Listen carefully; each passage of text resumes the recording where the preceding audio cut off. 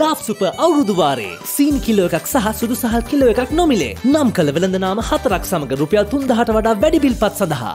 දෙවයින පුරා සිටින තරුණ තරුණයන්ගේ සහභාගීත්වයෙන් පසුගිය නවවනදා මෙම විරෝධතාව ආරම්භ වූ අතර ජනතිපති ලේකම් කාර්යාලයේ ඉදිරිපිට කූඩාරම් සවිකර ගනිමින් විරෝධතාකරුවන් දිවාර්වාත්‍රයේ සිය විරෝධතාවේ නිර්ත වී සිරෙනවා.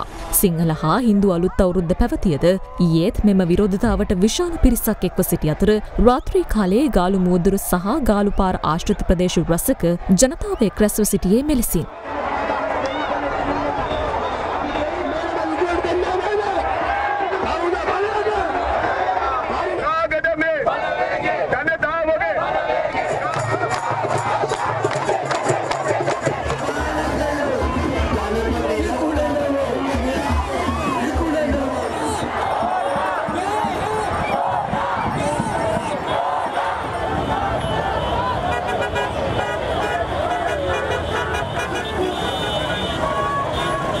විරෝධතාවයට සහය දැක්වීම සඳහා කලාකරුවන් වෘතියවේදින් ඇතුළු විශාල පිරිසක් ඊයේ රාත්‍රියේත් එම පරිශ්‍රය රැඳි සිටියා.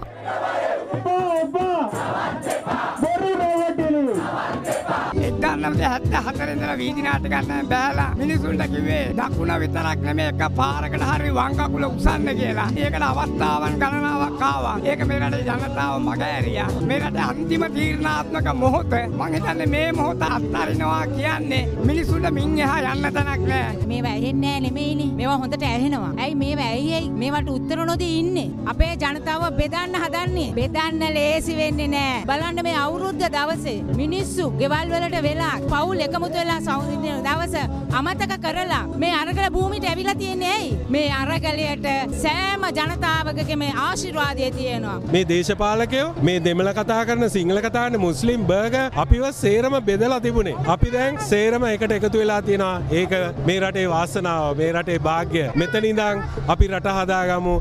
මේ අද උදැස්සන විරෝධතා භූමියේ තත්ත්වයයි.